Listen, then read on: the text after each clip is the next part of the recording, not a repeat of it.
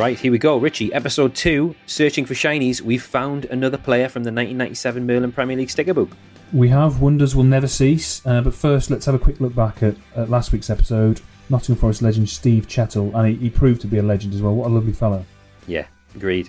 He was top man, and we got Cloughie stories, and we got Gazza stories, and we got a tale of him rescuing a dog from the Trent, so we, we can't ask much more than that.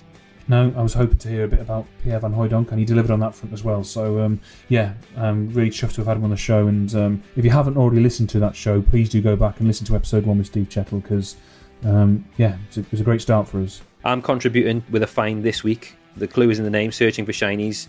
We've been searching low and high, and we found Lee Dixon, Mm. which is, you know, unbelievable. A-lister, 1990s royalty, basically. Yes, explain to me how. I mean, Steve Chettle was fairly straightforward. I went on Twitter and sent him a message, but you finding Lee Dixon a bit more tricky. Yeah, well, a bit of luck, really, uh, because I'm such a man about town living down here in London. My pal, Bobby, the oyster chef at the Chiltern Firehouse, he mentioned that sometimes Lee Dixon gets in and he gives them oysters. Of course, he and I forgot about that. And then I remembered and I went, Bobby, do you fancy giving Lee Dixon a shout and seeing if he fancies coming on the podcast? And he went, Yeah, no problem. Lee Dixon's That's- email arrives, pinged him an email, and he said, Yeah, sounds like fun, I'm in. That's a joke, isn't it? I mean, honestly. Um, well, anyway, he, he was what a great guest as well. Yeah, unbelievable. I knew it was going to be a good episode from the Martin Keown story that he gave us within about the first 10 minutes, which is just brilliant. And he even produced the 1989 Arsenal away shirt that he wore at Anfield, still has bits of Anfield on the back. He Yeah. produced that and put it on. So, Yeah, couldn't believe what unbelievable. Yeah. Well, listen, no more wittering. Let's listen to Lee Dixon.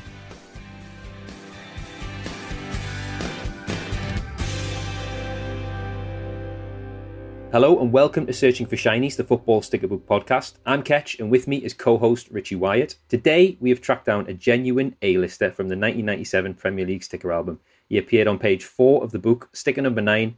He made 635 career appearances and won 22 England caps. Across a 20-year career, he won four league titles, three FA Cups, and a European Cup Winners' Cup medal. It's an honour to extend a big, shiny welcome to Arsenal's Lee Dixon. Lee, welcome to the show. How are you doing, guys? I'm so pleased I'm on page four and sticker number nine. I really feel very honoured. I don't think we'll get a lower sticker in our in our search, to be honest. So it's it's, it's a big one for us. I don't, I don't know whether it's low good then. Well, I think it's like when at the start of the season, Arsenal are top of the league on alphabetical order. You've you by Yeah. default have a have a low number. Brilliant. There's 16 stickers on the Arsenal spread from the 96-97 season. Yeah. You're one of them. Do you think you can name the under 15 for us? Oh, God, you never told me it was a quiz. Just a little warm up. 1997, 98. 96, 97. Sorry, 96. Getting the year might help. David Seaman, Nigel Yeah. Winterburn, Yeah. Tony Adams, Steve Bould, Paul Merson. Yeah. Then Patrick wouldn't have been in because he signed that season. So he, No, he's in. French He's in. lad- He is. Oh, would they? Oh, Yeah, right. there. He's in, yeah. Oh, Patrick. Patrick's got in then. Ian Wright. Mhm. I'm just trying to think whether. So if he's there, then Dennis Bergkamp must be there. Yep. Uh, Ray Parlour. Mhm. Andy Linighan. Yes, Yeah. 10. Five to go. You're missing Fine. one defender. Is he one? Martin Keown. Mm-hmm. Yep. Was Lukey back then? Yeah. Yes. John Lukic, yeah. John Lukic. See, I, it's, I, I headed a lot of balls, you know. It's memories. Good job you didn't ask me next year. I wouldn't have remembered anything. Um, You're doing. You're doing very well. You've got a uh, midfielder. Kev and- Campbell. No, you do need No. a forward though. uh, with I've said Righty, and I've said Dennis Bergkamp, Yeah. Oh my- John Hartson. Yes. Yeah. Two two to go. So you got a Oh. midfielder and uh, a winger. I don't associate him much with Arsenal. He's an England player. Midfielder. David Platt. Yes. One to go. Winger. Yeah. This this lad I watched play at Middlesbrough, and he was absolutely rapid, and tore our fullback a new one. But he wasn't in the Premier League for very long. Glenn Helder. Yes. Yes. There we go. Well done. That's impressive. Do I, get, I must get some sort of prize for that, surely. Well, Based on the fact you sprung it on me without any notice. What man? If You- you give me notice, I'd have got them all straight away. yeah, We can yeah. post you some. We've Our sponsors, Topps, have given us some stickers from the 97 book, so we'll post some stickers out here as a, as a reward. I also feel bad for Martin Keown Why? why? because we talk about the Arsenal back four, and it's always like he's the extra one. I'll tell you a story about that. Well, you've just named him about 15 minutes after you got the Arsenal back four, so. Well, it just rolls off. The, it just rolls off the tongue, doesn't it? Normally, but we. Um, so I can't remember what. Se- well, I'll tell you what season it was. It was after the we'd won the double, so it must have been ninety eight. Ni- the ninety eight season, and then so it must have been pre season following the the double. Uh, so 98, 99. So we had we have our usual photographs, uh, you know, with the kit, team photos, one day in pre-season. So we train, run in the morning, then go back to the ground for our photos. So we're all in our kit on the pitch, and we're all taking the team photos, individuals, da, da, da. and I thought, and all the trophies were there. So FA Cup, Charity Shield, and the and the League Championship, you know, the Premier League title. And I was like, do you know what? How often are we? We might not be together for much longer. So I, I went round the lads and I said to Bouldy, Tony, and Nigel, I said I'd really like a picture of the four of us, really close knit with the FA Cup, the championship, you know, and and then. Uh, and I thought that was a really good idea. And then until someone pointed out, and goes, "Well, is Martin going to be in it?" And I went, oh, it, it doesn't look right with five in. It's just like... so we basically sort of hung around on the pitch until Martin went in to get changed, and he was and he was lingering around, and we were kind of got and I, and I was like, "Just stay back, lad." So anyway, they uh, he he went down the tunnel, and I got all the lads quick, got the photographer, lined everything up. I've got the picture. In fact, I've got it on my phone, and it's somewhere in the loft somewhere. But I've got this picture of us, the four of us, down like that. And as we were getting down for the photo, he's just about to take it. And Ray Parlour run down the uh, tunnel and shouted, "Martin, the back four are having a photograph of pitch." and he comes, he comes running out. We all scattered. It was we were so scared of him. He was like trying to trying to get. It's just like you know. It's it's like the. Uh, it's like the, the fifth musketeer or whatever. It was just You could have got him to take it. no, that that would definitely not gone down very well. Oh, great. I was, we actually had a question about picture day. Was that a, a pain in the arse for players? Did you, you know, take your time to get your haircuts? You know, obviously it's happening in the middle of pre-season. What was it like? Well, the, the only good bit about it was that we weren't running our taters off around the pitch somewhere and throwing up behind a bush. So that was the yeah. You got an afternoon off training, so it was looked upon as a, a an afternoon off rather than a chore. But once you've yeah, it, it, they do take ages. I think they're a bit better run now than the old sort of winding the film on and you know the old tripod. It's all done very quickly now. But um, yeah, it is a bit of a pain because you, as you said, you've got to get your hair cut. Make sure you don't.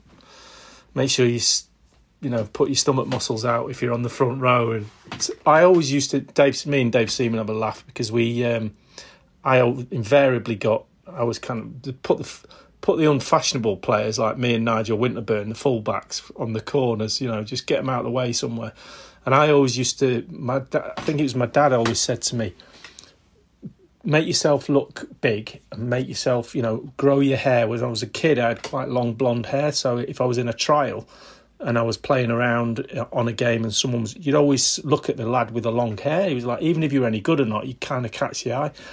And he always said to me, if you get when you get in the team photos, stand on your tiptoes and make yourself look big because people will go, God, he's a, you know, you might get a signing on the fact that you're a big, a big fullback at the far post, you know. So I always used to be on my tiptoes. Dave used to go, Dicko, oh, get off them tiptoes. That's how Dave Seaman talks, by the way. Um, I'm looking at the picture now, actually, and you are middle row. You're fairly central, actually. But I'll tell you what stands out in this picture. Is it Steve Morrow? Just looks like a lost geography teacher amongst other footballers. And then, you know, not long after that picture, Arsene Wenger, the geography teacher, turned up as our manager.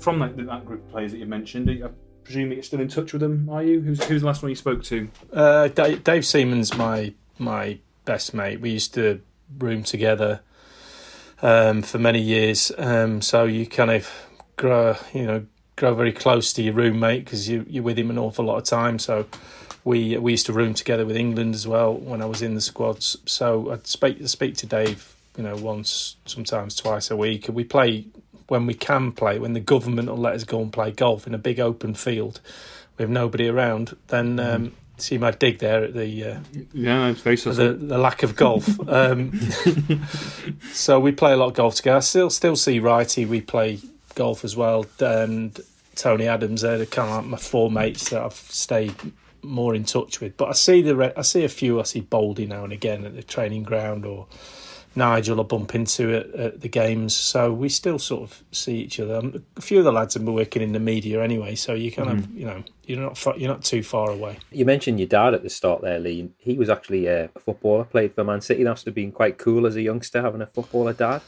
Well, he was yeah, it was back in the fifties, so I, he he was a very good amateur goalkeeper, and uh, he got his chance to sign pro for Man City in the fifties. But unfortunately, or fortunately, because my dad talks about Bert Trautmann as you know his idol, who's the German goalkeeper who famously broke his neck in the cup final.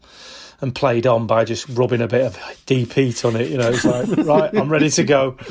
Um, a little bit like the footballers these days, you know, when they, just like that, they yeah. yeah. So, um, but he was his understudy, and he because Bert was so good, uh, and my, my dad wasn't quite good enough. He never really got a chance. He got picked for one game, uh, I think it was an FA Cup replay midweek against Luton Town. Ironically, because I made my debut for Arsenal against Luton, and my dad was going to make his debut for the first team in Man City, and on the way down on the motorway, the fog came down and they cancelled the game and they turned the coach around and went back. Oh, God. And on on the Saturday, Bert's thumb was miraculously better, and uh, that was it. So he never played in the first team, but yeah, he was football through and through. So growing up as a kid, he was you know my dad would always be playing football with me, taking him to games, and so I I I often joke with him to this day that I you know I I played the career through my dad's eyes because he was he wasn't good enough to uh, to quite make it. So, and that's why he was, you know, he came to every game. He drove down to Arsenal from Manchester every Saturday to, to watch games, and um, yeah, he's certainly my biggest biggest supporter. So you signed for Burnley initially, I believe, as an apprentice back in the early 80s. And Yeah. played a few professional games for them before moving to Chester, I believe. Is that correct? Mhm. Correct. Yes, we were ninety when I signed for Chester. I actually didn't know. I knew what league they were in, but Burnley said to me, "Look, there's two clubs coming for you: Crewe Alexandra, and Chester." And I went, "Crewe's not far. Chester, where? I don't even know what league Chester in." Hmm. So I had a little look, and I sort of looked down the league, and I was like, "Right, they're not in the as it was then, not in the third division." So I was like, "They must be in the fourth. So I went down the fourth, and I got down to ninety first, and I still hadn't got to them. And I went, went to ninety second, and sure enough, Chester were there with about eleven points, sitting on the bottom of the football league. And in those days, it was you had to vote for re-election. It wasn't automatic. You know, you, the the chairman had to write a letter if you finished bottom to all the other chairmen saying, "Please let us stay in the league. We think we offer this," and then the chairman vote on whether you go down or you stay up.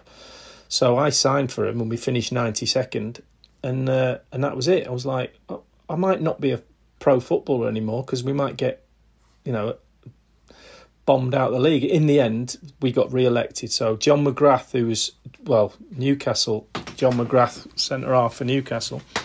He's dead now, bless him. He was manager of Chester, and he came to all the players and he said, and I'm not, not sure this is strictly legal. Well, it certainly isn't now, but came to us and he said, right, I'm signing 13 f- lads on uh, on free transfers in the summer. We're going to have a massive season next year. We're going to get promoted. So you're not having any bonuses next year. And we were on about 15 quid a win or something. So it wasn't a lot of money anyway. But he said, we're not having any bonuses. You win a game next year, you're not getting anything. And the chairman is going to put a bet on us to get promoted. And he's going to put five grand on us to get promoted at 50 to 1 and then we're going to split all the money at the end of the season when we when we go up. And the lads were like yeah! We're in the dressing room going yes come on lads. This was pre-season. And there's 14 new lads in we didn't even know. They were all going yeah! So it was going to be like the best season ever. And uh, we finished 91st we literally went dump, we went one we went one spot up. It was like oh, so I, at that point I had to leave and see if I could do do a, a better job and then I went to Bury in League uh, in League Three. So that brings us round quite neatly to, to Arsenal, where you signed in January 88, I believe. Can you describe the Arsenal that you arrived at versus the one that you left? Well, you you have to understand that the Arsenal that I arrived at from my position now, having played and and retrospectively looking back, it was a slightly different version or a vision than I had when I when I signed. Because when I hmm. signed, I was very, as I said, a very nervous, very scared young footballer who was thinking. So anybody who was at the club at the time was an absolute legend as far as I was concerned. I remember walking in on a Tuesday morning when I signed, and we used to train at Highbury on a Tuesdays and do a physical round the pitch, do loads of running around the pitch, go in the gym, do a load of weights, and then go in the gym for a five a side. That was like a we used to call it Fizz Day because it was physical, and that's what we did. And my first sign training session was on a Tuesday, so I drove to Highbury and I went into the amazing, walked up the the marble steps to the marble hall, saw um, Herbert Chapman looking at me, and thought, "Wow, this is it. This is where it all starts." Walked down this beautiful. I don't know if you've ever been inside Highbury, but it's it was one of the most beautiful Art Deco buildings. Really polished old oak everywhere, marble. It's it's just an, an absolute amazing stadium, and a lot of it's still there because they built flats, but they kept the main bit and walked down to the dressing rooms and these massive big wooden doors. I pulled them open and David O'Leary was standing right in front of me and I kind of went, oh God, I just love Oh, and he, went, he, he just looked at me and he went, he almost like, am I a ball boy or something? What am I doing here? I was like, so he looked at me and he went, all right, Lee, nice to have you on board. And I was like, hello, David. And David Rocastle came up. Tony Adams was taking a mickey out of somebody because Tony was brash, young, you know, captain type figure. And I, I was just in in Kenny Sansom then came up to me and I was like I couldn't even speak to Kenny because Kenny was a bit of a legend as far as England fullbacks were concerned and I used to idolise you know his type of player and I sort of looked at him and went God that's Kenny Sansom and I got my kit and I put my kit on. It didn't really fit. I felt really, I was like, oh, my shorts are too big and you know, dangling off me. Oh, I felt terrible. But my vision of them then was of a of a of a team that was a team. You know, it was already an established uh, first division team. When I look back now, you know, with knowing a bit more, it was the real beginnings of something really special and I didn't realize at the time because it was had this real cool mix of senior players um, you know John Lukic wasn't that senior but he'd been there a while and David O'Leary was like the godfather of the place walking around and all this amazing young talent because George when he first came in was like right get rid of all the prima donnas old ones who are not going to do it and you can work out who they are but I don't want to you know uh, use their name in vain or anything. There, but the the older players who who he thought were, weren't hungry enough, weren't um, the right type to build a team around, and then all these kids were like, you know, Michael Thomas, David Rocastle, Paul Davis was one of the senior ones, and there was a real cool mix. Nigel Winterburn had signed six months earlier, and it was like when I look back now, I was like, and because we made eighty nine the documentary, we looked into all of that, you know, we did a lot of filming about that. We did a lot of talking about it. So it really brought it home to me what a special, and I didn't know it at the time, but what a special kind of bubbling away um, team that was, just getting ready to go. And George, you know, that was his vision. That's what he wanted to put a load of kids in that were hungry from the lower leagues that really wanted it and mix it with the talent that he had coming through from the academy and with a few older guys there, and it absolutely, you know, it it it took off, really did. We spoke at the start of the podcast about why we're doing a podcast on 1990s football, and I think one of the main reasons is that football looked so different in 1990 than it did in 2000. It was the decade where it all changed. There was a huge drinking culture among players. Was there? Hard, Do you remember the last time you had a beer on a bus back from a match? Because I think good... that was the turning point. It was.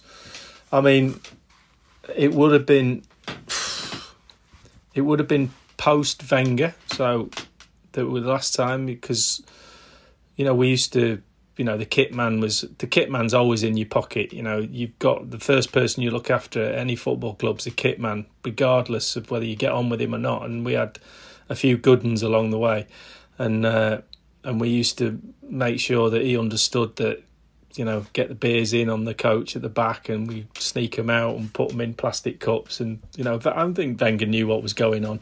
I never forget we did a pre-season we were away I think it was his first pre-season. Tony, you have to remember as well that Tony uh, got sober in '96, so he stopped drinking in '96, and Wenger was obviously arrived. So, um, and Tony was our skipper. We're on pre-season tour.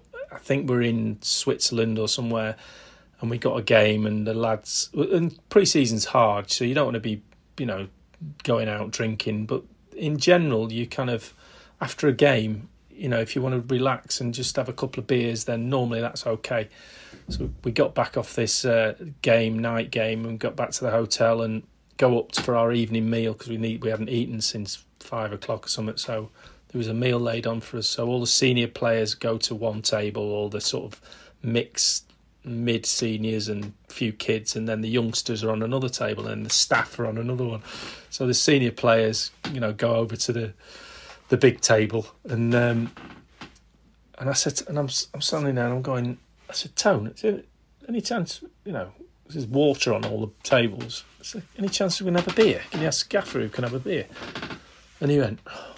I said, you're captain. I said, you don't mind going in for a pay rise, do you? But, you know, when you have to do something with the lads, and I know you're not drinking beer, but come on, get so well, you got put under pressure. So he goes over and asks Arsene, and we, he, he leans, he's going, so he turns around and he goes, so we all went, oh, brilliant. so um, this is Wenger in a nutshell because he's got a brilliant sense of humour. You know, he's a bit, we all, you know, he's a bit clumsy at times and a bit, he had a nickname of Clouseau because things would go wrong if he touched a, a TV, the, you know, the area will fall on the floor and it just, things seemed to happen to Arsene. He was, he was a, he was a funny guy. They had a really good sense of humour. And uh, so we all sat down. We're all really excited, started eating our meal, and the waiter come waiter comes in from the thing with a massive big silver tray like that with one beer in the middle. He comes over like that because Tony said, "Can they have a beer?" So he went, oh, "Yes, no. of course." so we come over with one bottle of beer, and that, we were like that. And then Wenger's like sitting there laughing his head off, thinking he's the funniest man in the world. So, uh, little did he know we had the load in our room. Yes, of course.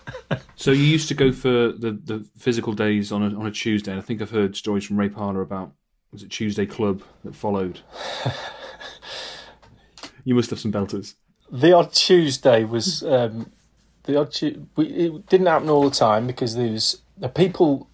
You know, when you talk about the Tuesday Club, people say, uh, "Oh, you want to go on the lash every Tuesday, like all day, all night." I was like, "No."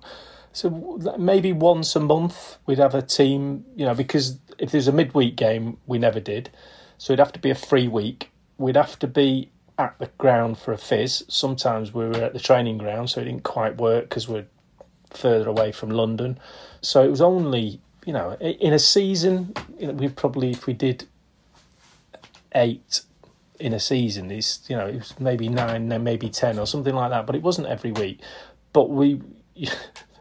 George used to George used to know exactly when we were going out because he we'd all come into training like suited and booted, not not suited but all dressed. You know, normally you got tracky bottoms and t-shirt on, and you come in with your wash bag looking, a, you know, like you'd just come off the street somewhere, and then all of a sudden on Tuesday we come he'd come in the dressing room and he'd, he'd literally walk around the dressing room and see all these nice shirts and so we used to sort of hang t-shirts over the top of them to try and hide the fact that we got an Armani shirt underneath it or whatever. So he used to know, and then he because we were off Tuesday, uh, we'd work hard Tuesday, we'd be off Wednesday, and then come in Thursday. But there was a few occasions where, and certainly reading Tony's book was really eye opening for me because we'd I'd read his book about one of those occasions we go out on a Tuesday, and I'd be like, "Oh God, I remember that. I remember that particular time we went out and whatever happened." And oh yeah, and I'd go, and then I'd turn the page, and then I'd go, "Yeah, yeah," and then I'd kind of find the moment where I'd go home at sort of maybe 10, 11 o'clock because we'd been we'd been out since you know one o'clock in the afternoon. So hmm. it's like about ten o'clock. I remember, and then I kind of go, and there'd be another eight pages of the chapter, and I'd go. And I'd find out that Tony didn't go home till Thursday morning when he went straight to training. So he'd missed the whole. He'd been out the whole of Wednesday, and I'd gone home on the Tuesday night, played golf on the Wednesday, took my kids to the zoo on the Wednesday, coming for training on the Thursday, and Tony was still out. it's like wow. So he properly give it a bash, you know, and he's and that's in his book. You know, he's I'm not divulging private information. He's that's how he lived his life, and um, you know, thankfully he he he got himself clean and sober, and he's living an amazing, you know, his best life now.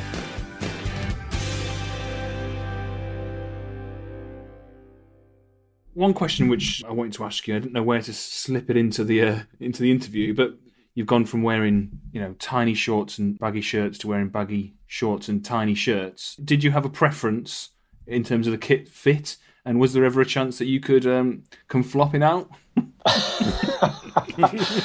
no, we are we are, no the kind of tight shorts were always they were pretty much in when I was starting off, and then they they progressively got a bit bigger. But I always used to I didn't like long short. I didn't I hated having anything long shorts, and in, nowadays you know the kits are so tight and streamlined and, and almost made to measure on the players. There's hmm. nothing you know. There's nothing left for chance. It's it's just you wear the kit, it's almost painted on. Hmm. And the kits, you know, when I was predominantly playing, were never, you know, it was like you you ask the kit man to put a pair a pair of small shorts out for me, and then if for any reason he forgot, and he'd go, uh, there'd be a pair of large. I said, "Where's me?" Oh, I gave them to uh, Anders Limpar, and I was like, "It was only one pair." You know, it was the kits weren't. I mean, they give the kits away now. Every you know, we gave a give a shirt away back in the day, and the kit man would literally go. I remember him standing at uh, uh, Tony Donnelly, the old kit when I first got there. And I think we were in a European game, and somebody gave the kit away to one of their players, and he made the player go into the away team dressing room, get the shirt back. Oh, It's like, no, we need that for Saturday. It was like, hang on, because he he'd, like, they'd have one set of kit and then have a spare, and if you give a shirt away, then you shirt down, and you'd have to wait for Adidas or whoever it was to. And I, I'm exaggerating a little bit, but he did make the player go in and get the shirt back because we weren't allowed to swap shirts. Uh, um, certainly not in Premier League games. Uh, European, you might get away with it. Was, you know, you'd say, "I'm, I'm, I'm just going to do it." On a Saturday, if you're playing against somebody and you, you know, they swap shirts all the time, you couldn't do it then. The answer to I've, I've avoided your your, your question. So. it speaks volumes. Just as we've started talking about shirts, I've noticed over your left shoulder a folded yellow shirt with JVC on the front. Oh yeah, I'll show you that. The reason I've got that here is because I've moved house and it's was in a frame and I didn't like the frame. It was in a frame in the loft because I've got I don't have any things out. It was in the loft and I took it out the frame and I've just kept it in here. But this is my '89 shirt, um, and I got it signed on the day or the night after or whatever. So that that's So that's the That's shirt the you actual- wore at Anfield. Yeah, and to prove it, look, see this, see this, watch this for a slide tackle. It's still got the mud on the back. Wow. Anfield mud. Anfield. It has been washed. It's just the mud didn't come out. So I've That still got, and it, and it still fits. That's more impressive, isn't it? It still fits. Prove it. Prove it. I'll put it on. I'll put it on. Don't want to see No, a but- striptease. I'll put it now. I won't take my t-shirt off. I'll just save the viewers. This is amazing. is this shirt on your house insurance, by the way? Because that is serious Uh, memorabilia. Yeah, well, That's great. no, it's not. Yeah, look, see, it still fits. That is brilliant. It's like a modern shirt. When I was wearing that in '89, it was like really baggy, but yeah. I'm, go- I'm going to take it off because it's too hot. Great. That's a bo- that's a, a real bonus for us that you just so happened to have the '89 shirt. yeah, and it wasn't. It wasn't. It wasn't. Um, it wasn't placed there for any Yeah. reason. Otherwise, This old just thing. yeah, on this. We've got a couple of questions about '89. But Okay. um, one thing we wanted to ask you about is you seem like you were one of those, you know, really nice guys, nice players, but you were involved in a few brawls, mass brawls. I'm thinking 21 man brawl at Old Trafford. There was one at home to Norwich. You were involved in a little one with David Ginola, which I remember as a Newcastle fan in the League Cup quarter final. Can you speak to us about a few of You're mixing me up with somebody else. I don't know. right, I'll, I'll put you straight on all of those. So, the Norwich one, we get a penalty during the game, and our penalty taker wasn't playing, and no one wanted to take the penalty. So, I grabbed the ball, put it down on the spot, and took my first penalty in professional football against Norwich. We were 2 0 down. I scored it. 2 1. We equalised 2 all. And then last minute of the game, we get another penalty. And I pick the ball up. And I'm going to be a hero. So I hit it to Gunny's right. He saves it, hits his hand, comes back. And in those days, the pitch at, Highbury was terrible. It was bobbling around. And I thought, I'm just going to sky this in the North Bank. So I hit it in the ground and it didn't get a lot on it, to be fair. And it bobbled. It went over the line, and I win the game 3 2. So I run off down the pitch, hero. The crowd are going mad. Alan Smith had run in to tap the ball over the line, but he didn't quite get there because it nearly didn't go in. And a load of their players went in and started punching Alan. So all our players dived in, and there was only one player not involved in that fight, and that was me because I was running around the pitch going, "I'm a hero."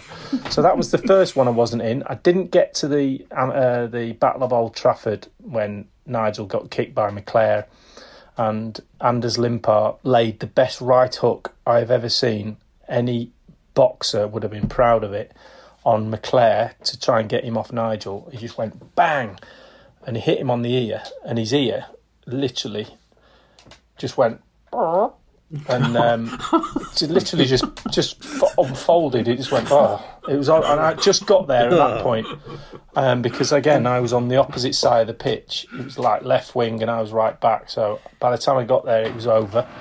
What was the other fight you mentioned? Ginola. He, he oh, I watched uh, yeah. the footage of this recently. No, and it- uh, to be fair, it's inconclusive. no, it's not. No, it's not. I'll, I'll show you I the think you made a meal of it. No, I'll show you the dental bill. I had two and a half. I nearly sent it to him actually. I had two and a half thousand quid's worth of dental work done on a. He broke a crown at the back of my tooth with his elbow. Now I fully deserved the elbow. I'll let me just say that I booted him all over the place that game, and the the straw that broke the camel's back was he went short to a ball like he always did, and, I, and he was just he, he was right at the end of his tether, and I knew he was just about to crack.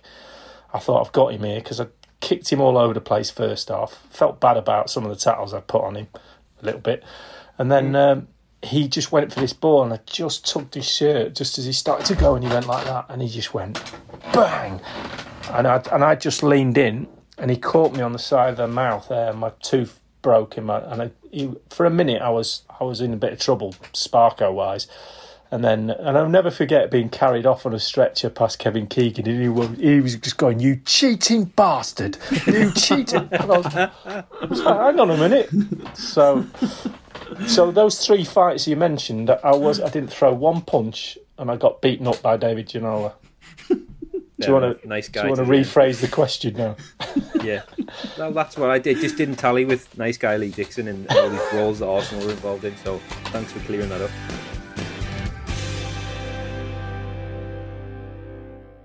Now then, we're very lucky on this podcast to be sponsored by Topps Match Attax. Tops are the company that Merlin became, and they've sent us a load of their 2021 merch. It's a Champions League sticker book and loads of packs of stickers, and we've got some stickers here, and we're going to open them. We do. Now, have you, first and foremost, Ketch, stuck in your stickers from last week? Well, what I did was we did a few pack openings and I've actually stuck a load in at once and it's been amazing. Haven't done this for maybe 25 years and I forgot how small the stickers are, but how the more, as you stick them into the page, the pages become easier to turn. And the, the pages become a bit more robust. Oh, I just, you know how the, the sticker book feels, but then it starts to develop a bit of um, Yeah. rigidity once you get the mm. stickers in there. and also the shiny stickers. Yeah, the shiny stickers have got a nice kind of flexible, you know, thickness to them, which are which, Interesting. They're the ones you want, and they're the ones I love peeling and sticking in the book. So that's a few observations I've. Whilst we're making ridiculous observations, I love the fact that I don't even notice this yet, Ketch, but the stickers, if you fold them, the back sort of pops open from the middle. So you're not for for fingering at the corner of the sticker now. You can rip it down the middle. You haven't The noticed that yet, have modern you? day sticker. I can tell you haven't noticed that yet. I have a confession to make before we go any further. We're supposed to be opening a pack a week on these podcasts. oh, you've been I've gone. I've gone hell for leather. I've gone hell for Oh, leather. great. I couldn't resist. Listen to this. Topps. This is the sound of my Champions League tin. Within it, I have got absolute reams of swaps. So I want to hear you open your stickers, and I'm Yes. going to be picking out ones that I need as you go. I'm going to be making a little mental note because I reckon I've got about forty swaps here. So Really? Get stuck in. So I've, I've done about I've done about five packets of stickers and I haven't got any swaps yet. Well, I've Not done one about swap. thirty packs, and Right it's, it's so addictive I can't stop. Here's my ten pack of Champions League stickers. Mm-hmm. Oh, Gio Reyna, Dortmund, shiny. Got. Haha, really? Ajax, shiny. Yeah, I love that badge. Amazing. Yeah, You need it. The, the, badge is for me the best stickers in the book. They look It, so good. it, it really is great. I've got the Ajax badge. Keylor Navas, Need. Christian Pulisic, I've got him sitting right here. cool. Okugawa, Japanese player for RB Salzburg. No, don't know him. Got a Leipzig player here, German, Halstenberg. I'm going to need you to speed this up, Ketch. I'm too eager. Thomas Muller, Got. the Shakhtar, Ukrainian Sergei Christov, Christoph, Okay. I don't think I've got him. Matt Hummels, Oh, good player. Got those, sadly. Anthony Martial. Hmm.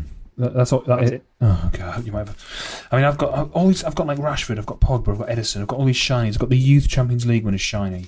I've got Ansu Fati Rising Star twice. Demba Ba about three times. So yeah, we need to start cracking on with opening some of these because I really want to get my book filled. But um, if any listeners are doing the Champions League book with their kids or doing it themselves and have got swaps and want to get involved with us, you know, contact us at our website, searchingforshineys.com. Get us on Twitter and Instagram at the Shiney Pod. Let's do some swaps. yes, please, let's get on with it and let's get back to Dixon. Should we get on to 88 89 then? The Yeah. Michael Thomas game. Obviously, you mentioned the documentary already, but um, can you give us a bit of insight into your memories of that? It was a season full of um, expectation. We, George, I think George was ready for us to sort of show us, show everybody what he'd built in a short space of time. Um, we started off the season brilliantly well, and by Christmas time we were top, um, and everything looked rosy. But the minute we got to the top, we started thinking, "Oh, we're at top," and then because we were quite a young team, we just just fell apart like a we folded like a cheap suit. We just went. There was, uh, and we started losing games. And Liverpool went on this unbelievable run, like only they could, of win after win after win. And we could see them coming up behind us, going, "Hang on a minute." And then, but then it was all in our hands. We had. Um, we had Derby, at, our last three games, we had Derby at home, Wimbledon at home, and obviously the Liverpool game had been postponed because of Hillsborough. So that was pushed back two weeks after the season finished. So, but it was fine because we just beat Derby and beat Wimbledon, who were both floundering somewhere, um, and we got beat beat by Derby. Um, Tony Adams had an absolute nightmare that day, um, and Dean Saunders just ripped him. You know, as you said, you said before, ripped him a new one. We lost two one, and I never forget on that day, we was, as we were driving to the ground, there was a guy outside selling, you know, those enamel badges, you know, that you all different enamels, hmm. and he had about ten of different ones saying, you know, league champions 1988, 89. So he'd already had the the badges made. And I'll never forget when we drove out the game, I was looking for him to see whether he'd like what he'd done with them, or because we were, it was virtually over then. And then obviously we we lost. Uh, sorry, we drew against Wimbledon on the Tuesday or Wednesday night, and then it was just. And we were in. A, I was in a restaurant when when Liverpool were playing West Ham, their game in hand on the midweek, and I was in a restaurant in middle of che- uh, Hertfordshire somewhere trying to avoid the result because I was like, I don't really want to see him, you know, bag a load of goals, and because I knew the the league was pretty much feeling like it was over, and uh, so I was in this restaurant and I was eating my soup, and how's my luck? The kitchen door opened. Obviously, Liverpool had gone one 0 up. It was about ten past eight or something. I was eating my soup and this scouser from the kitchen put his head out and went, "Hey la, one 0 And then went back and I went, "You're kidding me!" In the middle of Hertfordshire. so every five minutes he kept coming out, going, three 0 la, and I was like, "God!" And they obviously scored five, and um, got to the point where I'd worked it out by then that we needed to win by two clear goals, and uh, thought thought at that point that it's not going to happen, and uh, we've you know we- we've got nothing to lose. We might as well go up there and have give it a go and see what happens. But in all in all honesty, you know George was probably the most confident out of all of us. You know we had to go out and play. He was just doing the tactics, and he, he absolutely thought we were going to win 3 0. Um, and I was like, we were looking at him going, is mad? We'd only played with three at the back and two wing backs once that season against United away. And he, you know, a few days before the game, he goes, "I'm going to play with, uh, you know, three centre backs." And we all went, "We we play four four two. And he's like, "Yeah, but not tonight. You know, you and I'm going to push on Barnesy, and Nigel's going to push on Houghton. They're their two best creative players." And we're going to stop them playing. And Rushy fortunately got an injury and went off in the first half, so we got rid of him. And then John Aldridge came on, and um, yeah, and it was just it was just an incredible. I can I can virtually remember every. I don't remember a lot of games now because it's so many. But that game was just because we made the doc as well. I remember I've watched so much footage of the game that we didn't use. It's almost like I could tell you exactly where I was on any point during the ninety minutes. Hmm.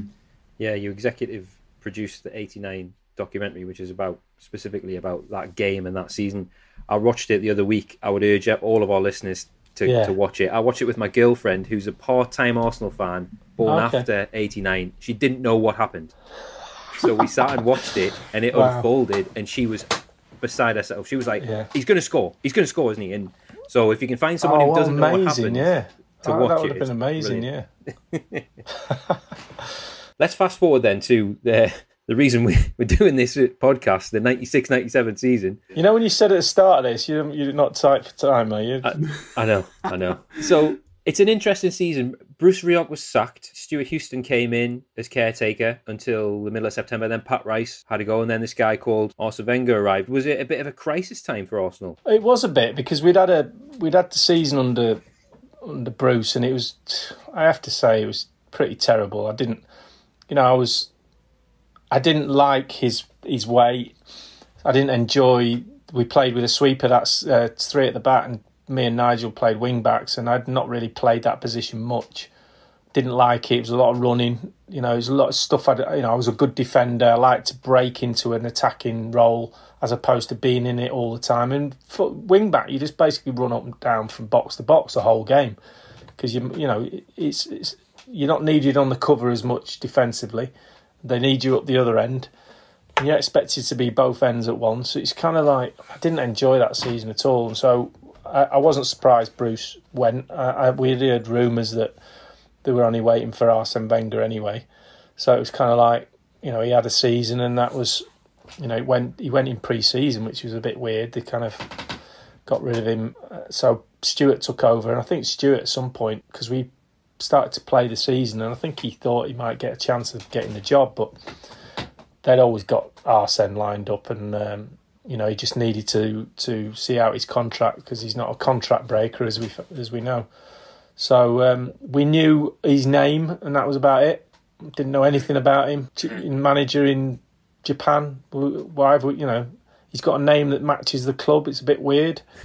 you know, he's a geography teacher. When we turned up, he just looked like Mr. Smithdale from 4B in my grammar school. It's like a bit weird, but it was amazing. You know, amazing opportunity for us to open our our minds to a different way of preparing, stretching, training, uh, recovery, all of that, and ex- be expansive and expressive on the pitch, which was all the things that we were kind of, I think, kind of ready for.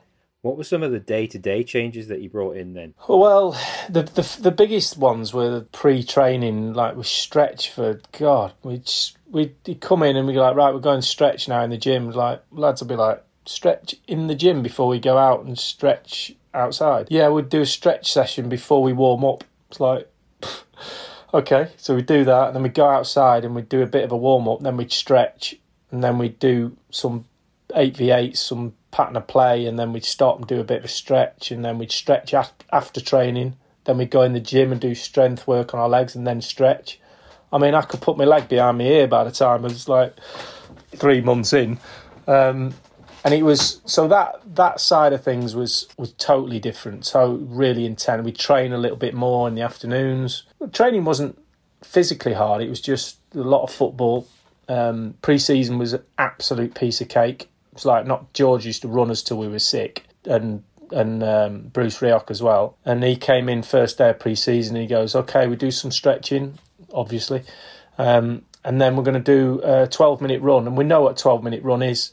When I did it with George, we run for 12 minutes around the pitch, just like that, until you drop. And then after 12 minutes, you get up and you do something else. And he would go, he'd set these cones in a big square, put us in fast group, slow group, medium group. I was quite quick and fit, so I would be in the fast group, and I was like, right, right. So standing there, like getting ready to go, 12 minute run, going to go as hard as you can for 12 minutes. Like, it's going to be hell. and he went, right, go. And I, we'd all set off, and he'd go, whoa, whoa, whoa, whoa, slow down, slow down. And we'd like, what do you mean? He goes, by the time you get to that bollard over there, that cone, it's uh, 25 seconds. I literally could have walked there in 25 seconds. so he's like, we'd, we'd, we'd jog to this thing, and he'd go, yep, next 25, yep. And then yeah, and do that for twelve minutes, and wasn't even no sweat, wasn't even out of breath. I was like, so that pre then the next day you do a six minute run and a twelve minute run. It'd be slightly higher pace, but it was so gentle. It built you into it, so gentle, and it got to the the first pre season towards the end of it. You didn't. We had like seven or eight games set up to play, and I played the first game pre-season and took me off after 40 minutes. And I was like, what? He goes, no, no, that's enough. Second game, I'd play 60 minutes. That's it. So I played six games before the start of the season. I hadn't finished 90 minutes. I hadn't done one 90 minutes. And I was like, said to Tony, we're, we're in big trouble here.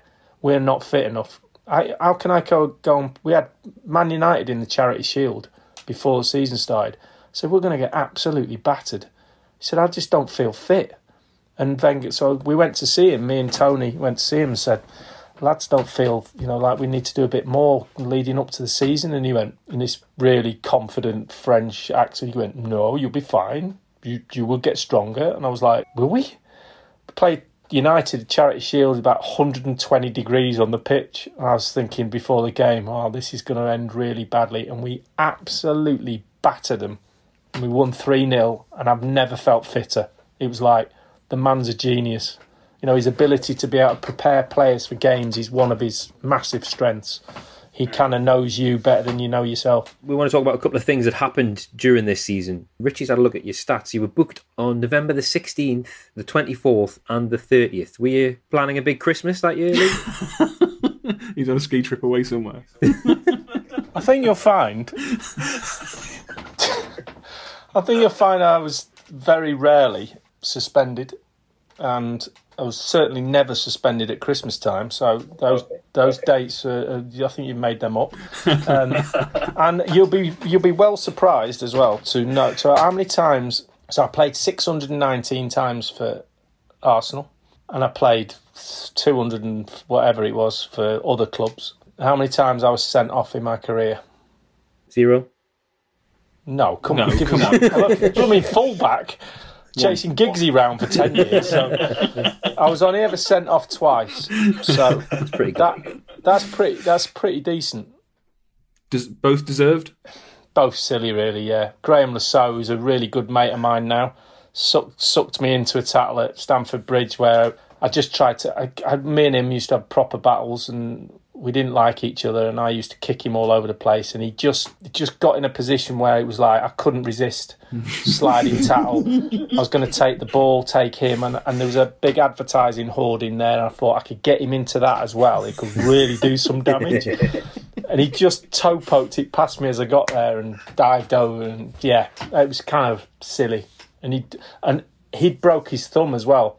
And he had a bandage on his thumb, and he was lying on, sitting on the floor. And the ref came over. Ref couldn't wait to get the red card out. He was like that, like, bang. And I and I just kind of went, oh. And I thought, and as I was going, as I was going to leave the pitch, Graeme was still on the floor and saying, and I was saying, "You diving so and so," and I, and then I saw his thumb, his bandage on his thumb, and I thought, oh. So I went, all right, Graeme. do You know what? No hard feelings. And I went to shake his hand on the floor, I, and he went like this. He put his hand up, and he saw my eyes go. "Oh." so I was just going to get hold of his thumb,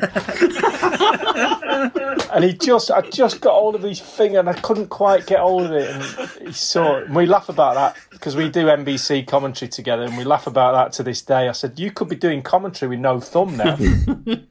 That's a Vinnie Jones move. That I'm surprised. Yeah. There's a theme being established here. So there's a couple of you've already talked about Anelka. One other player we want to mention uh, in passing is Patrick Vieira. What kind of impact did he have when he joined? Amazing. He, he he came before Wenger. He was a signing, and he was injured when he came. He had a Patrick had quite bad knees, and he had a I think he had a cartilage. He was struggling with his knee, so when he came, he didn't really train. He didn't look like a footballer. He's very gangly, and he's very young, and didn't seem to fit his body type thing. He was all a bit strange. Um, so we kind of thought, you know, what if we brought in? I remember him coming on against. He came on, I think, against I don't know Sheffield Wednesday at Highbury as a sub for his first game a while, a while after he'd come and Wenger was there, and he came on in second half, and he was like, "Wow!" It was just incredible. And from that moment, he was in the team forever, and uh, and went on to become one of the best, you know, all round midfield players in the world. And you know, we everyone's wants to put midfield players in categories now, and you know, he's always an eight, he's a six, he's a four. I'm like, I have no clue what that is. You know, I'm not I'm not old school enough to to go. To, you know, I'm, I'm I work in football now in the media, but there's so much rubbish talked about numbers on people. You know, oh, he's he's he's an eight, he can't play as a six. I'm like, what are you talking about? Well, you know, when he drifts from a ten to an eight, he doesn't look the same player. I'm like, well, it's like 15 yards. He's moved from there to there. He said, it just drives me mad. I have to pet hate of mine as well. I cannot stand it. And Absolutely then, you know, you talk about midfield players, and they go, "Well, he, you know, he's a holder. He doesn't, he doesn't go over that. He doesn't do this." It is absolute tripe, and they've, and I, I, I blame a lot of the, the analytical side of the game is great.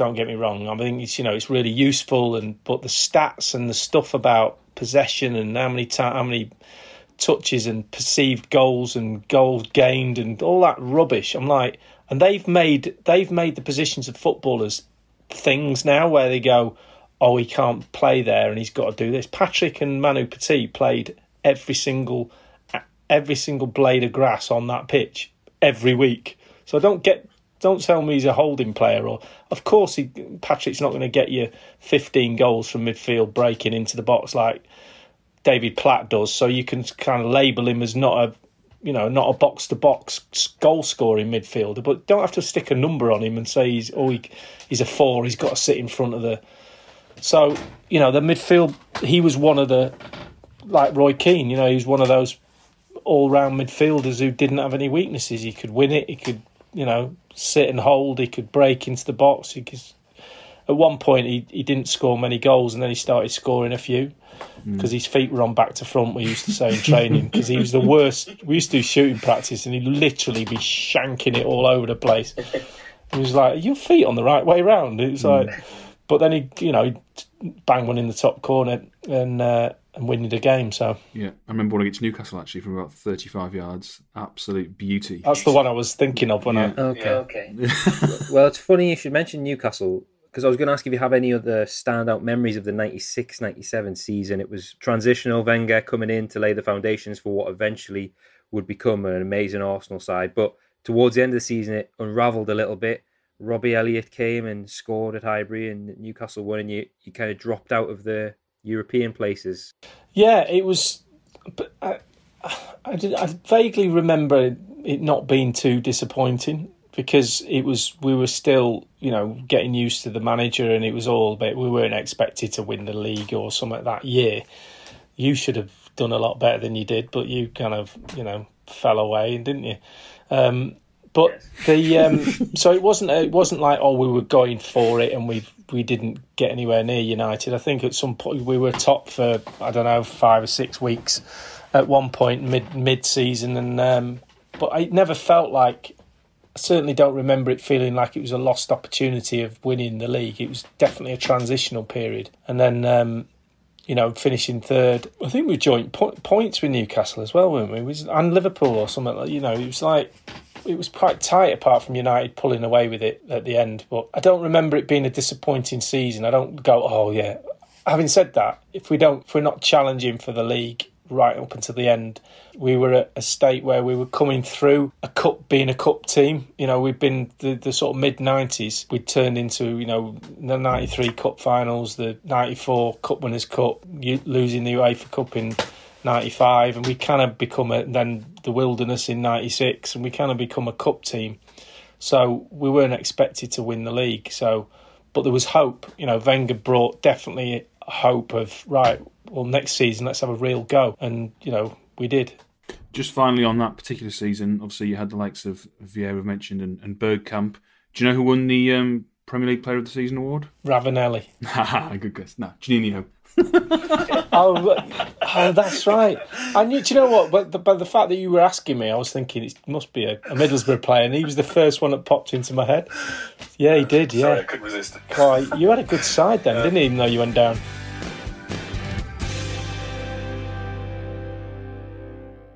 You've mentioned David Seaman a few times, and something I've got to ask you. Surely, when he's growing that ponytail, somebody in the dressing room does something about it. How could you let him get away with that? hang on. Whoa, whoa, whoa. Just back up a little. Have you seen the size of him? he got absolutely hammered on a daily basis. So we didn't let him get away with it, but there's no way anyone was taking a pair of scissors to it because that would have been that would have only ended in bloodshed. So he was a bit confused. You know, I was his room, I was his I was his roommate, and he used to go. He used to go in the shower when we used to room together, and he'd go in the shower in the Saturday morning before a game, and he'd come out and uh, he'd have washed his hair and then he'd kind of go like this with his hair.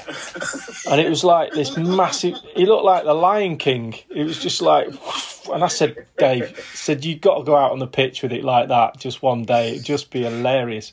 And he, he, you know, obviously got to the point where there was a couple of times, there, there was a couple of times during a game, I remember him telling me that it was so long, the ponytail, that some I think some of it came out once, and he went up for a ball, and a big load of hair went in front of his face. I said, I said that wasn't Naeem from the yeah, yeah, or Ronaldinho, Ronaldinho. or Ronaldinho, yeah.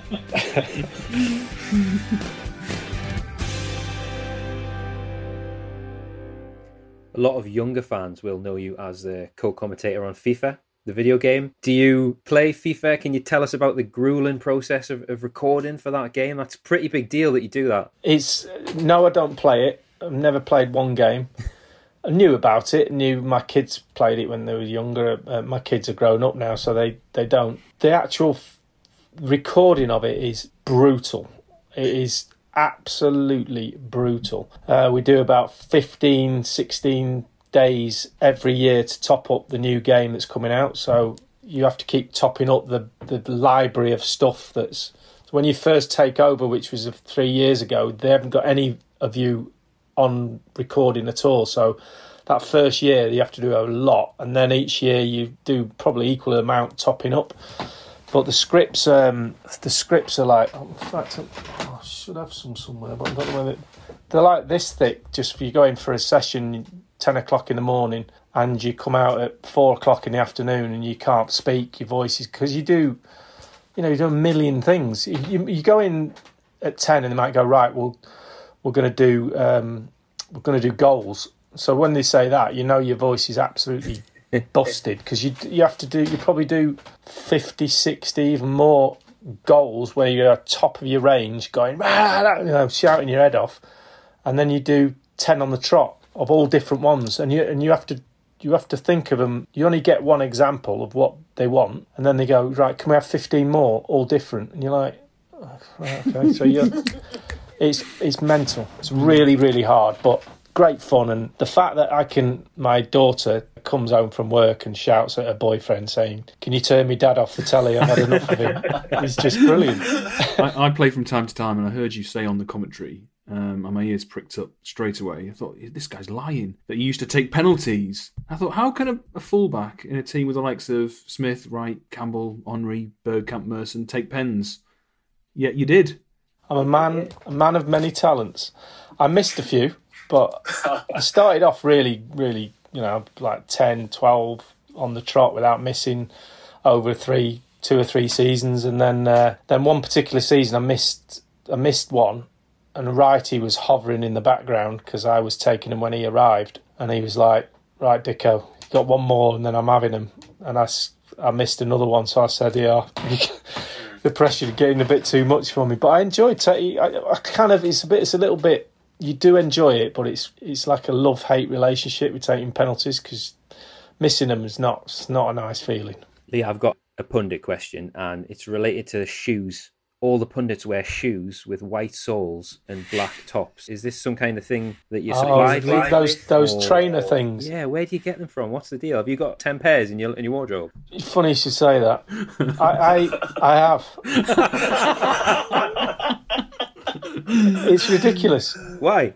I don't know. It became, well, do you know what it is? It's because as the the dress code started to relax a little bit, you know, it's all suits and ties, and it's like no ties, just just a shirt and then trousers and shoes and then then someone I don't know who this person was because you weren't allowed to wear trainers on on air and then someone sort of took the gamble and wore those trainers that you're on about and uh, and got away with it. It's like, well, actually, technically, they're not actually trainers. And then, as soon as that floodgate opened, everyone was like, right, Paul Smith, get a load of them.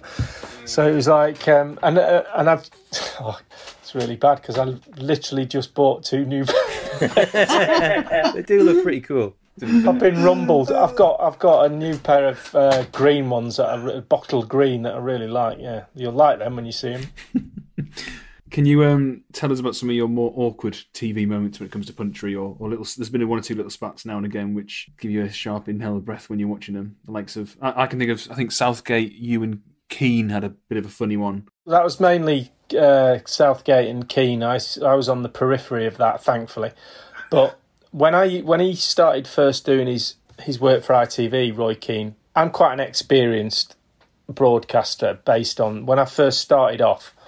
Some an old broadcasting friend of mine said to me, "When you start, make sure you get used to talk back from day one. So earpiece in your ear, get used to talkback going on in your ear while you're talking on TV because it'll it'll save your life one day, you know. And you'll also become a valuable broadcaster because most footballers who start off in this they don't have talkback in, so because it's it is very unnerving when you first use it, as you as you probably know, and so.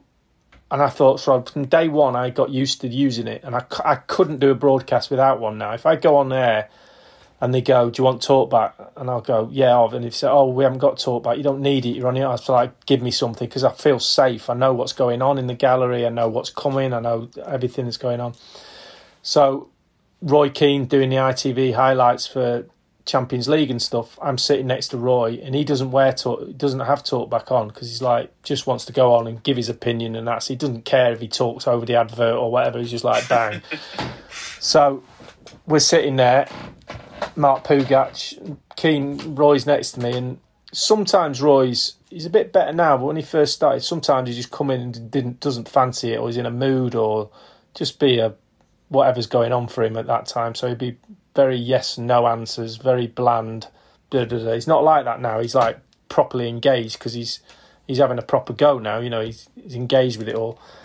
So Mark DeMuth, my producer, would be in my ear, and I'd get the famous, and I've had it a few times. So Roy's giving very straight answers to Mark Pougatch. What do you think about this? And he's going, Yeah, well, I thought he played well. And he's like, and then in my ear, I, I hear the words, "Poke the tiger." oh, and I'm like, oh god. So now I've got to get Roy, or you know, get him a little bit, disagree with him, or do something that's a little bit different, or something just to get him. So I've got the job of poking the tiger. So I, I have to like. So he might say, "Oh, Man City played well," and I just go, "No, I don't think they played well." And you can see him like start to get those eyes on, and and so in the early days it was a little bit like that. I mean, he's not like that now. He's he, thankfully he's kind of he's he's got the he understands the gig and he's good. He's brilliant. You know, he's box office because you don't know what's you don't know what's going to come out of his mouth next, which is part of the jeopardy of working with him. but me and him get on. Me and him actually get on really well. He's uh, say he's got a bit of a soft spot for me, but he, he kind of I think he, he he, I don't know. He just we seem to get on well. We we get on well off the off off off screen, and and he's a he's a he, he's a football fanatic absolute football fanatic. He'll come down from a. We'll be at a tournament. He'll come down and he'll go. Uh, what about Colchester last night? Right back in the centre half, and I'm like, what about them? And he goes, oh, they had a good game and they won 1 0 and Mansfield got beat by Huddersfield. And it's like, he literally watches and listens to everything about football. He's, he's, uh, he's an incredible character. Did you ever have any incidents with him on the pitch, or you you weren't there for the Vieira tunnel incident, were you? I'd, I'd left then. Um, no, I never. I stayed away from him. You know, I got flipping Ryan Gig. I got Ryan Giggs on the wing. I don't know if you noticed. Last yeah. thing I can do is going in midfield and getting involved with Keano. So I, he never really came over my side. He was just straight down the middle, wasn't he? Didn't wander off to the wings very often. So uh, no, I didn't. I didn't really have any run-ins with him, but they were fun watching other people. You know, Patrick have him and Patrick used to absolutely hate each other. It was brilliant. You know, really box office. Those games against United in those late nineties were just incredible games to play in. And I say, you know, Anfield '89 was the best game I was ever involved in as for for what happened, but. I do have to say that the semi final against United in '99, when they won the the treble, that semi final at uh, uh, Aston Villa at Villa Park was uh, it it had absolutely everything in it from a from a an emotional point of view playing a game.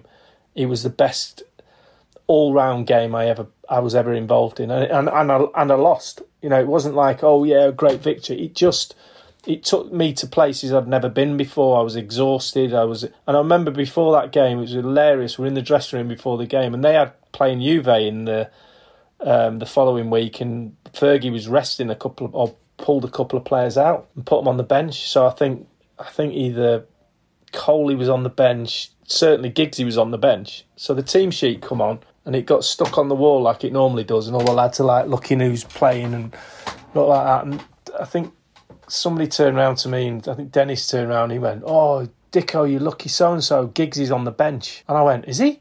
And he went, "Yeah, he's on the bench. You lucky git." And I went, "Hang on, whoa, whoa, whoa, just how is that lucky?" And they were like, "Well, you you don't have to play against Ryan Giggs." I said, "No." Blomqvist was playing left wing, and he was a bloody good player, by the way. I said, Blomqvist, I, I tell you exactly what's going to happen. Blomqvist is going to play, and about an hour, 65, 70 minutes, he's going to have knackered me out. He's going to go off, and Ryan Giggs is going to start warming up, and he's going to come on with 20 minutes to go. Uh, so I've not only got to play against Giggs, Blomqvist, and Giggs, I've got Giggs for 20 minutes when he's going to be flying, and I'm going to be knackered. How's that lucky? And they all went, it's a very good point. You're in the shit. and sure enough, I was in the shit. We've been setting up this interview, which you've kindly done, and all the emails at the bottom say, um, "I'm on my bike" with a little bike emoji. You're a you're a, a keen cyclist as well. Yeah, I mean that that was born out of having a bad knee, so can't run, can't do anything too energetic on the knee. So, but I can ride a right riding a bike's been fine, um, and I'm just back on it, just starting to go back on it now after my op. So, uh, which is great. I'm uh, I'm back on the bike. I'm doing TRX. I'm I'm getting fit now, so that's brilliant, and I'm just can't wait to, to get on the golf course. That's my real one. Uh, oh, I, I I'm quite sporty, but that's the one thing that I'm completely obsessed with is golf. Can you tell us a bit about your wife's charity work? Yeah, she's um, she's got a um, a dance company called the Yorke Dance Project, and she's set that up years ago in, in Los Angeles. She's brought it over. She's English, but she was living in LA. She brought it over to the UK. And it's only a small company. She runs it herself uh, with a little bit of help here and there. Eight or so dancers part time, sort of come in and out when they're doing projects. But it's just got bigger and bigger over the last few years. And she said there's a charitable side to the to the company that does a lot of work with schools and underprivileged uh, areas um, like um, movement projects, movement uh, workshops um, around dance, but involving issues that kids might have in bullying, etc., things like that. So, just getting people involved in, in, in movement and trying to think about movement in a different way that they can associate that with how they're feeling. A lot of there's a lot of things out there at the moment about how people are feeling and the fear of expressing yourself. So it's all connected to that. So we you know, I raise quite a bit of money each year on charity events and and um, and try to keep that side of her of her charity business going and the dance company and yeah we it's it's an amazing thing it's just seeing kids doing stuff you know that's especially now we've been doing they've been doing loads of stuff on zoom things like this and just to see people moving and smiling and laughing and actually doing something physical is uh, it's kind of brought on a whole new meaning to it now with this uh, pandemic. So hopefully we can get back to normal soon. We can all go dancing together. Mm. Yeah, sounds yeah. great. Sounds expect, great. And we're going to see you on Strictly. yeah, strictly. But I've been asked knee. a few times and I've turned it down a few times. So now I've got a new knee. Mm. Yeah, yeah. Never say never. Ooh, interesting. Well, we're going to make a donation because we're so grateful for your time. We've had an amazing, oh, that's brilliant. Amazing, Thank amazing you. couple hours here. So lucky to, to hear these stories. So we're, we're delighted to have you on and we're going to make a donation. That's very kind of you. Thank you. We've got one more question. We are asking everyone who comes on searching for shineys to pick their shiny player. So this is the best player you've played with or against. Dennis Bergkamp. Doesn't even, no one gets close. That's great, Lee. That's all of our questions and more. Uh, we're so we're so grateful to, to, for you to do this. This is this is really great for us. We've loved it. It's mm. my Thank pleasure. And any any time, I hope it goes well with your launch. Right. Well, let's pause for breath. Lee Dixon. What a find! What an interview! What a guy! Um, he gave us again two hours. I think we need to prep guests in future, Kedge, that are going for longer than the one hour that we asked them for because that was over two hours two again. and a half hours. Uh, and I have to say, some great stories. I did not ever think I'd be watching Lee Dixon undress via webcam. Um, but I can tick it off the bucket list because it happened. I saw it. The Arsenal, I putting the '89 shirt on. What a treat that was! Yeah. So on back on with the search. We we need search. we need our next player. I got the I got the last one, so I think it's ball in your court time. Well, as our listeners may have noticed, I'm a Borough fan.